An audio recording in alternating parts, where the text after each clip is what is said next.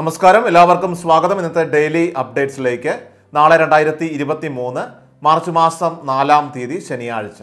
അപ്പോൾ ഇന്നത്തെ പ്രധാനപ്പെട്ട വാർത്താ അപ്ഡേറ്റുകളും നാളെയും വരും ദിവസങ്ങളിൽ എല്ലാവരും അറിഞ്ഞിരിക്കേണ്ടതും ശ്രദ്ധിക്കേണ്ടതുമായിട്ടുള്ള വളരെ പ്രധാനപ്പെട്ട വാർത്താ അപ്ഡേറ്റുകളുമാണ് ഇന്നത്തെ ഡെയിലി അപ്ഡേറ്റ്സിൽ ഉൾപ്പെടുത്തിയിരിക്കുന്നത്. എല്ലാവരും പൂർണമായിട്ട് ശ്രദ്ധിക്കുക. മറ്റുള്ളവരിലേക്ക് കൂടി ഈ വാർത്തകളൊന്ന് ഷെയർ ചെയ്യുവാൻ മറക്കാതെ ഇരിക്കുക ആദ്യത്തെ ഏറ്റവും പ്രധാനപ്പെട്ട വാർത്താ അപ്ഡേറ്റ്. സംസ്ഥാനത്ത് ചൂട് വർദ്ധിക്കുകയാണ്. നാൽപ്പത് ഡിഗ്രി വരെ താപനില ഉയരുവാൻ സാധ്യതയെന്നാണ് ഇപ്പോൾ കേന്ദ്ര കാലാവസ്ഥാ വകുപ്പ് അറിയിച്ചിരിക്കുന്നത്. എല്ലാ ജില്ലകളിലും കനത്ത ജാഗ്രതാ നിർദ്ദേശമാണ് ഇപ്പോൾ സംസ്ഥാന ദുരന്തനിവാരണ അതോറിറ്റി പുറപ്പെടുവിച്ചിരിക്കുന്നത്. പ്രത്യേകിച്ചും കണ്ണൂർ കാസർഗോഡ് വടക്കൻ ജില്ലകളിൽ ഇന്നും നാളെയും അതായത് മാർച്ച് മൂന്ന് നാല് തീയതികളിൽ ഉയർന്ന താപനില സാധാരണയിൽ നിന്ന് മൂന്ന് ഡിഗ്രി മുതൽ നാല് ഡിഗ്രി വരെ ഉയരാൻ സാധ്യതയെന്നാണ് കേന്ദ്ര കാലാവസ്ഥാ വകുപ്പ് അറിയിച്ചിരിക്കുന്നത്. സംസ്ഥാനത്ത് വേനൽ ചൂട് വർദ്ധിച്ചു വരുന്ന സാഹചര്യത്തിൽ പൊതുജനങ്ങൾക്കായിട്ട് സംസ്ഥാന ദുരന്ത നിവാരണ അതോറിറ്റി ഇപ്പോൾ ജാഗ്രതാ നിർദ്ദേശങ്ങൾ പുറപ്പെടുവിച്ചു കഴിഞ്ഞിരിക്കുകയാണ്. പൊതുജനങ്ങൾ പകൽ സമയത്ത് പതിനൊന്ന് മണി മുതൽ മൂന്ന് മണി വരെയുള്ള സമയം നേരിട്ട് ശരീരത്തിൽ കൂടുതൽ സമയം തുടർച്ചയായിട്ട് സൂര്യപ്രകാശം ഏൽക്കുന്നത് ഒഴിവാക്കേണ്ടതാണ്. അതുപോലെ തന്നെ ജലം പാഴാക്കാതെ ഉപയോഗിക്കാനും വേനൽമഴ ലഭിക്കുമ്പോൾ പരമാവധി ജലം സംഭരിക്കുവാനുമുള്ള നടപടികൾ സ്വീകരിക്കണമെന്നുമാണ് അറിയിപ്പ്. നിർജലീകരണം അത് തടയുന്നതിനായിട്ട് ശുദ്ധമായിട്ടുള്ള വെള്ളം ഇടയ്ക്കിടയ്ക്ക് നിങ്ങൾ ധാരാളമായിട്ട് കുടിക്കാൻ ശ്രദ്ധിക്കണം. അതുപോലെ തന്നെ സംസ്ഥാനത്ത് ചൂട് വർദ്ധിച്ച സാഹചര്യത്തിൽ വഴിയോര കടകളൊക്കെ റോഡുകളിലൊക്കെ ആരംഭിച്ചിട്ടുണ്ട്. അതുകൊണ്ട് തന്നെ ഇപ്പോൾ സംസ്ഥാനത്ത് ഭക്ഷ്യസുരക്ഷാ വകുപ്പ് ജ്യൂസ് കടകളൊക്കെ കേന്ദ്രീകരിച്ചുകൊണ്ട് പരിശോധനകൾ പ്രത്യേക പരിശോധനകൾ ആരംഭിച്ചിരിക്കുകയാണ്. വഴിയരികിൽ നിന്നൊക്കെ പാനീയങ്ങളൊക്കെ വാങ്ങിക്കഴിയുമ്പോൾ പൊതുജനങ്ങൾ എല്ലാവരും തന്നെ ജാഗ്രത പാലിക്കേണ്ടതാണ്. അടുത്ത പ്രധാനപ്പെട്ട വാർത്ത അപ്ഡേറ്റ്. ഡിസംബർ മാസത്തിലെ പെൻഷന്റെ വിതരണമാണ് ഇപ്പോൾ ബാങ്ക് അക്കൗണ്ടുകളിലേക്കും അതുപോലെ തന്നെ കൈകളിലേക്കും സർക്കാർ വിതരണം ചെയ്തിരിക്കുന്നത്. Kerala social security pension limited എന്ന സാമൂഹ്യ സുരക്ഷാ പെൻഷൻ കമ്പനിക്ക് വായ്പ നൽകാൻ രൂപവൽക്കരിച്ച സഹകരണ ബാങ്കുകളുടെ കൺസോർഷ്യത്തിൽ നിന്നുമാണ് ഈ ഒരു പണം ലഭ്യമായിരിക്കുന്നത്. രണ്ടായിരം കോടി രൂപയാണ് ആവശ്യപ്പെട്ടത്. കൺസോർഷ്യം ഉണ്ടാക്കിക്കൊണ്ട് സഹകരണ ബാങ്കുകളിൽ നിന്ന് എട്ടര ശതമാനം പലിശയ്ക്ക് എണ്ണൂറ് കോടി രൂപ വായ്പയെടുത്താണ് ഇപ്പോൾ ഈ ഒരു ആദ്യ അതായത് കുടിശ്ശിക വന്നിരിക്കുന്ന ആദ്യ കുടിശ്ശിക വിതരണം ചെയ്തിരിക്കുന്നത്. ഇനി ശേഷിക്കുന്ന രണ്ട് മാസത്തെ കുടിശ്ശിക നൽകുന്നതിനായിട്ട് സഹകരണ ബാങ്കിൽ നിന്ന് തന്നെ ആയിരത്തി കോടിയോളം സമാഹരിക്കാനുള്ള നീക്കം ഇപ്പോൾ സർക്കാർ ആരംഭിച്ചിട്ടുണ്ട്. വിഷുവിന് മുൻപ് തന്നെ കുടിശ്ശിക വന്നിട്ടുള്ള ജനുവരി ഫെബ്രുവരി മാസത്തെ പെൻഷൻ വിതരണം ചെയ്യുന്നതിനാണ് ഇപ്പോൾ ധനവകുപ്പ് പുതിയ നീക്കം ആരംഭിച്ചിരിക്കുന്നത്. അപ്പോൾ ഈ സാഹചര്യത്തിൽ രണ്ട് മാസത്തെ കുടിശ്ശിക പെൻഷൻ അത് വിഷുവിന് മുൻപായിട്ട് തന്നെ വിതരണം ചെയ്യാനുള്ള നീക്കത്തിലേക്കാണ് ഇപ്പോൾ സർക്കാർ കടന്നിരിക്കുന്നത്.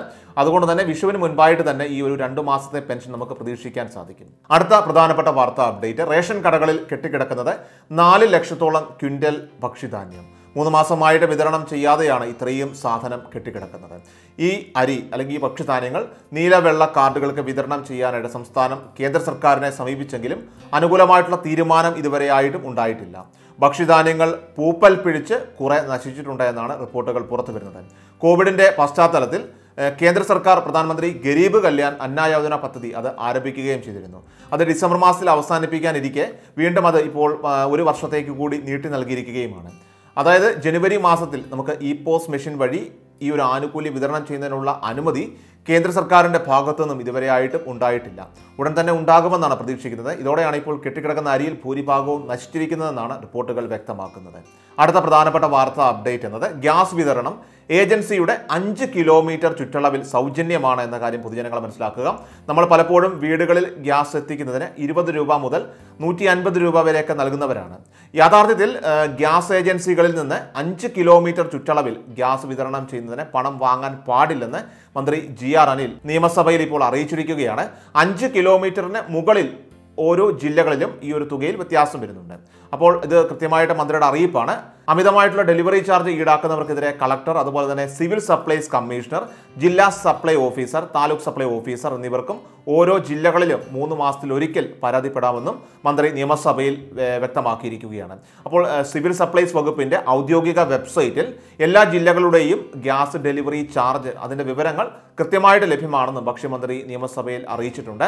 എല്ലാ ഗുണഭോക്താക്കളും ഈ ഒരു കാര്യം കൃത്യമായിട്ട് മനസ്സിലാക്കി വയ്ക്കുക അഞ്ച് കിലോമീറ്റർ ചുറ്റളവിൽ നിങ്ങൾക്ക് സൗജന്യമായിട്ട് തന്നെ ഗ്യാസ് സിലിണ്ടർ വിതരണം ചെയ്യണമെന്നാണ് അറിയിപ്പ്.